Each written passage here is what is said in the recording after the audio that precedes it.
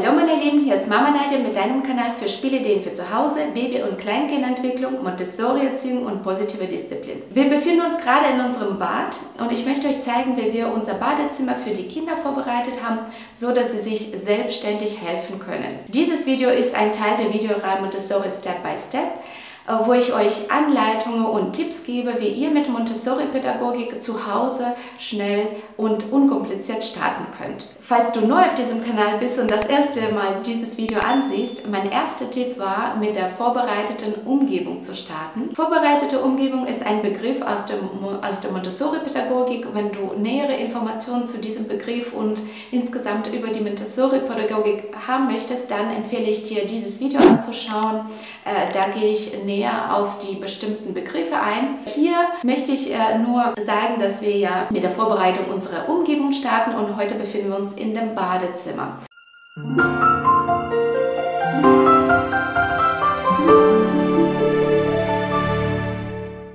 Die Vorbereitung vom Eingangsbereich, Küche, Essbereich und Wohnzimmer habe ich bereits mit euch geteilt. Bei Interesse könnt ihr die Videos ähm, anschauen, die werde ich in der Infobox verlinken. Der Leitsatz ähm, das Hauptmotto der Montessori-Pädagogik ist, hilf es mir selbst zu tun.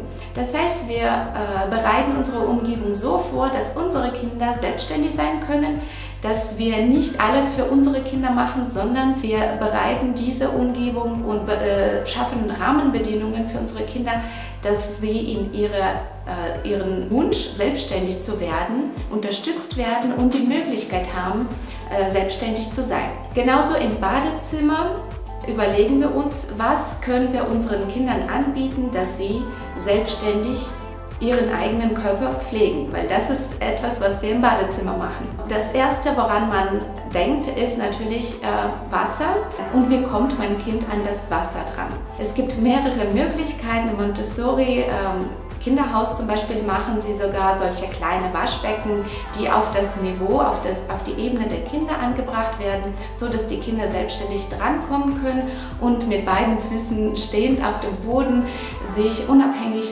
Hände waschen können. Es könnte auch zum Beispiel ein, ein Montessori Learning Tower sein oder ein Stepstool oder ein Hocker, wo die Kinder einfach an das Niveau von Erwachsenen äh, gebracht werden können ähm, durch, diese, durch diese Hilfestellung. Und äh, das ist etwas, was wir in unserem Bad haben. Wir haben einen Hocker. Den kannst du an den Waschtisch dran stellen, so dass dein Kind selbstständig zum Wasser kommen kann. Wenn das Kind jetzt an dem Wasser ist, am Wasserhahn, äh, zeigst du deinem Kind am Anfang, wie das Kind Wasserhahn einstellen kann, so dass es sich nicht verbrennt, ja, wenn das Wasser zu heiß ist. Bei uns ist es ziemlich einfach. Wir stellen das einfach in der Mitte.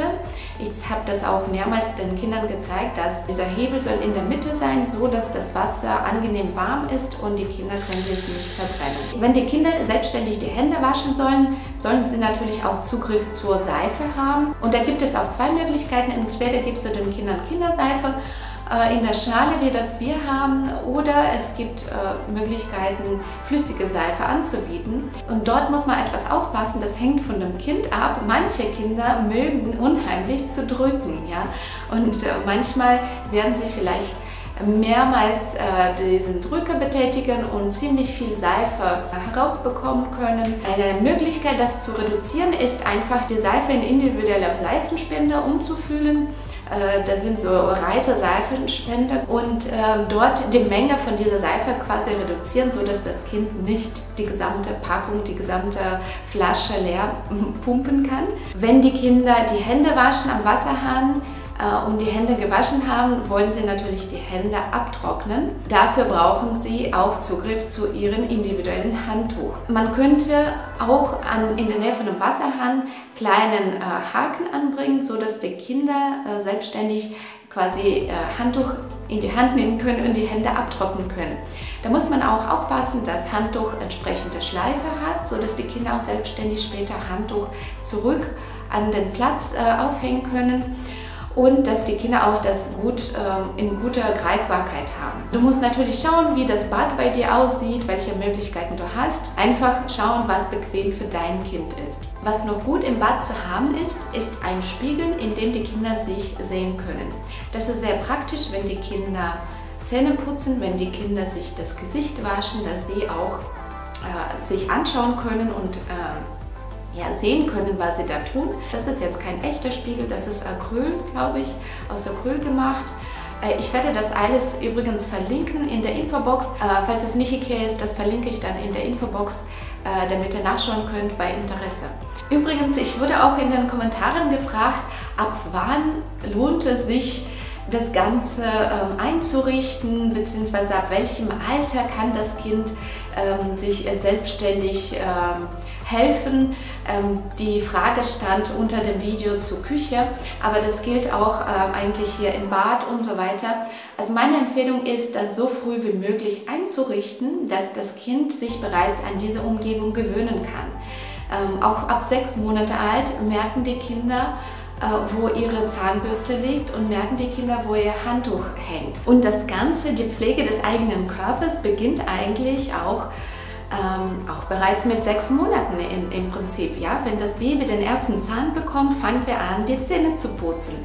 Und ähm, das kannst du deinem Baby gleich zeigen, wie man die Zähne putzt. Und das Baby darf auch am Anfang ähm, immer erlaubt deinem Baby am Anfang selber die Zähne zu putzen, bevor du nachputzt. Und später, wenn das Kind äh, gut stehen kann, ja, mit beiden Füßen, kann er schon einige Sachen machen. Er kann sich auch die Hände waschen, er kann sich auch die, das Gesicht waschen, mit dem Handtuch äh, die Hände trocknen und so weiter. Und die, das Einrichten, das äh, kann man alles äh, so früh wie möglich vorbereiten und bereits für den Kind Plätzchen im Badezimmer finden, wo seine Sachen sein werden. Gehen wir jetzt weiter, wenn wir jetzt bei den Zähnen sind, äh, zeige ich euch, wo wir unser Regal haben, wo äh, unsere Kinder die Sachen haben im Bad. Wir haben hier einen Schrank. Die Kinder können selbstständig diese Tür aufmachen und äh, sie haben ein Regal, wo ihre Sachen liegen. Äh, für beide Kinder habe ich jeweils ein, ein kleines Körbchen eingerichtet mit dem Foto, vor allem als sie klein waren oder Andreas klein war, war das hilfreich mit dem Foto, so dass er weiß, wo sein Fach ist und wo das Fach seiner Schwester ist.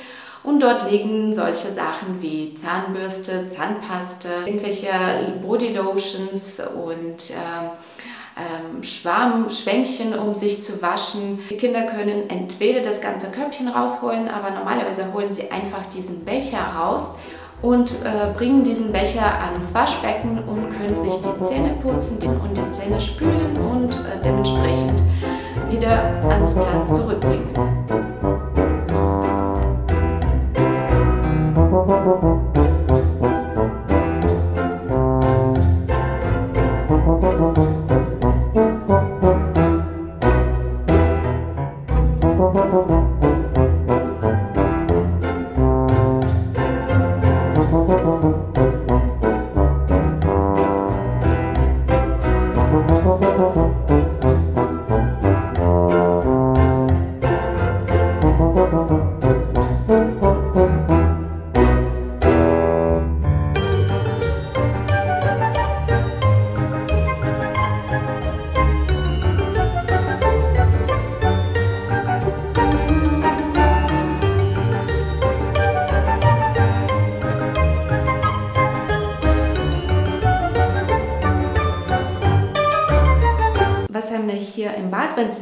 Waschen, haben Sie hier Waschlotion. Äh, das ist auch eine sehr große Flasche und da müsst ihr natürlich individuell an eure Kinder das alles anpassen. Falls ihr merkt, dass das Kind gerne Pumpe betätigt, ja drückt und drückt und drückt und da kommt nur Waschlotion und ähm, die haben einfach Spaß zu drücken, dann würde ich natürlich diese ganze Geschichte in, in eine kleinere ähm, ähm, Dose umfüllen und nur so viel Waschlotion anbieten wie nötig. Ähm, ganz kleine Menge, das kann man täglich auffüllen und die Kinder haben nur die Menge, die nötig ist, um sich zu waschen, weil es ist eigentlich nicht nötig, ständig äh, die Kinder zurückzupfeifen, ja, wenn sie zu viel nutzen und immer sagen, nein, das nicht zu viel. Es ist auch nicht schön für die Mama, deswegen finde ich einfach im Vorfeld überlegen und im Vorfeld vorbereiten, so dass zu diesen Situationen gar nicht kommen kann. Und äh, bei uns ist es so, dass sie eigentlich das ganz äh, vernünftig nutzen und äh, sie spielen nicht so damit. Ihr guckt nach eurem Kind, falls euer Kind gerne damit spielt, füllt das einfach um und somit vermeidet ihr einfach Konflikte. Nebendran haben wir ein kleines Säckchen mit ein bisschen Badespielzeug. Es ist jetzt nicht so viel. Die Hälfte ist eigentlich im Garten, im Pool, im kleinen Pool, was wir haben. Was die Toilette angeht, haben wir hier äh, bereits ein Töpfchen hingestellt. Das Töpfchen ist für Andreas, der ist momentan 18 Monate alt und das Töpfchen stand hier eigentlich ähm, ja, seit seiner Geburt im Prinzip, weil meine Tochter auch äh, da gelernt hat, auf Toilette zu gehen und erkennt das Töpfchen. Aber ich empfehle das auch, dem Kind bereits mit zwölf äh, Monaten einzuführen und zu zeigen, äh, wo man auf Toilette geht. Und du kannst jedes Mal morgens auf jeden Fall deinem Kind anbieten. Und das ist ein langsames Heranführen an das Ganze, äh, an diesen ganzen äh, Töpfchen-Lernprozess. Ähm, was bevorsteht. Ähm, deswegen ist es nicht schlecht, dass das Kind auch weiß, wo die Toilette ist, wo Mama auf Toilette geht. Und das ist ein Angebot.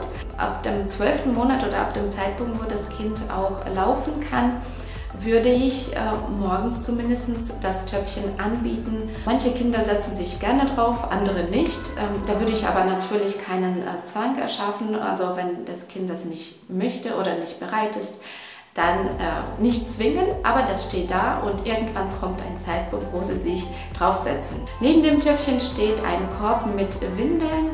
Äh, Im Prinzip ist es so, dass wenn das Kind anfängt zu laufen, wollen sie nicht mehr gewickelt werden auf dem Wickeltisch. Zumindest war das jetzt bei unseren Kindern so und ich habe das auch oft gehört, dass die Kinder einfach nicht mehr im Liegen gewickelt werden wollen. Es gibt natürlich auch unterschiedliche Kinder, manche liegen, liegen und haben kein Problem damit, die anderen wollen gleich aufstehen. Ähm, also Andreas hat sich, ähm, ich konnte ihn seit dem achten Monat, glaube ich, nicht mehr in Ruhe wickeln auf dem Wickeltisch. Und seitdem er steht, wickele ich ihn im Stehen und das machen wir auch hier im Bad. Und da ist auch das Töpfchen. Äh, beim Wickeln biete ich ihm immer an, ob der nochmal auf Toilette gehen möchte und auf, aufs Töpfchen Pipi machen möchte. Er sitzt aber nicht gerne auf dem Töpfchen. Im Gegensatz zu meiner Tochter. Ja, so unterschiedlich ist es und ähm, man kann es nicht entzwingen, das ist ein natürlicher Prozess, aber wie gesagt, das Angebot ist da. Momentan sind nur Windeln und feuchte Tücher in dem Körbchen drin, aber wenn wir mit dem Töpfchentraining anfangen, und das werden wir eigentlich in bald äh, machen, werde ich noch die Unterwäsche reinlegen, so dass wir ähm, Unterwäsche wechseln können äh, und ein paar Lappen, weil es am Anfang immer daneben geht, ja, und dass das Kind auch weiß, wo das Lappen liegt, äh, womit er Pipi aufsammeln kann, falls es zu einem Unfall gekommen ist. Meine Tochter nutzt so einen Toilettensitz, was hier auch aus Ikea ist. Also das Töpfchen ist auch aus Ikea, finde ich super praktisch, weil dieser Einsatz kann man rausholen und äh, gut sauber machen. Auf jeden Fall nutzt meine Tochter jetzt äh, Toilettensitz. Sie hat auch entsprechend ein Hocker, damit sie hochkommt. Und je nachdem, wie alt euer Kind ist, müsst ihr überlegen einfach, wie ihr diese Umgebung so anpassen könnt, so dass es seinen Bedürfnissen entspricht, seinem Alter entspricht, seinem Entwicklungsstand entspricht. Ich zeige euch hier nur unser Beispiel, ja, das muss nicht so sein, dass es jetzt nicht irgendwie Vorbild oder so. Ich zeige euch nur, wie wir das eingerichtet haben, wie das für uns funktioniert, wie das einfach äh, für uns praktisch ist. Ihr macht das einfach so, wie das für euch passt, ja, und ähm, ich hoffe nur ein paar Ideen zu liefern, ein paar Inspirationen oder ja, vielleicht ähm, eine oder andere äh, findet man interessant und will bei sich auch umsetzen oder man hat andere Ideen. Schreibt mir übrigens alles in den Kommentaren. Ähm, da freue ich mich, über eure Ideen nachzulesen und über eure Gedanken. Wie gewohnt machen wir eine kleine Checkliste, was man so im Bad machen könnte oder haben könnte. Äh, je nachdem, wie alt euer Kind ist, passt ja das Ganze nochmal dem Kind an. Als erstes überlegt euch, wie das Kind zum Wasser drankommt. Zweitens Seife. Ein kleiner Spiegel ist ganz gut. und Haken oder irgendwo, wo das Kind sein Handtuch hat und wo das Kind sein Handtuch auch holen kann, also dass es griffbereit ist. Dann äh, hat das Kind auch irgendwo ein Regal oder ein Körbchen könnt ihr einrichten, je nachdem wie viel Platz ihr habt und wo, welche Möglichkeiten ihr habt. Ein Regal oder ein Körbchen mit seinen eigenen Sachen. Da könnte Zahnpasta, Zahnbürste, ähm, Haarkamm drin sein oder Schwämmchen Waschlappen und so weiter, was ihr so gerne benutzt und womit euer Kind, ähm, womit ihr euer Kind pflegt. Bei der Toilette könnte bereits ein Töpfchen stehen mit äh, ein, einem Köpfchen in der Nähe. In dem Köpfchen könnten Windeln sein, Unterwäsche, Ersatzunterwäsche, Lappen, wenn man äh, Töpfchentraining macht, feuchte Tücher und so weiter, was man so alles brauchen könnte. Für ältere Kinder ist es ein Toilettensitz, ein Hocker, um auf die Toilette dran zu kommen. Für kleinere Kinder habe ich noch nicht erwähnt, ähm, wir haben auch äh, Windeleimer. Also Andreas, wenn ich ihn wickele, geht ähm, selbstständig und bringt seine Windel selbstständig in Windeleimer.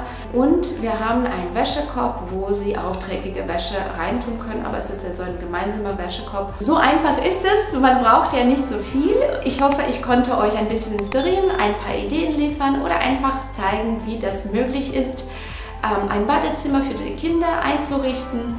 Ich freue mich über eure Kommentare, über eure Ideen und im nächsten Video geht es um das Kinderzimmer. Ich zeige euch äh, das Kinderzimmer von Andreas. Ähm, wiederum nach Montessori inspiriert, nach Montessori eingerichtet. Und solange du auf dieses Video wartest, empfehle ich dir noch diese Videos anzuschauen. Dort findest du weitere Tipps und Informationen, wie du Montessori schnell und einfach zu Hause anfangen kannst. Bis dahin wünsche ich euch alles Gute. Wir sehen uns nächste Woche. Tschüss!